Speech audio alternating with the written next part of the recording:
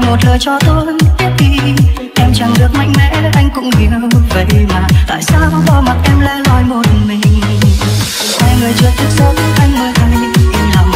Bởi điều vừa mới diễn ra chỉ là trong giấc mơ. Mỗi ngày em vẫn sống với yêu thương ngọt ngào. Hạnh phúc sau một hai yêu nồng lại cảm ơn vì ai đó đã mang đến nơi thế điều mà em luôn thiếu từ khi chúng tôi xa rời được nhìn em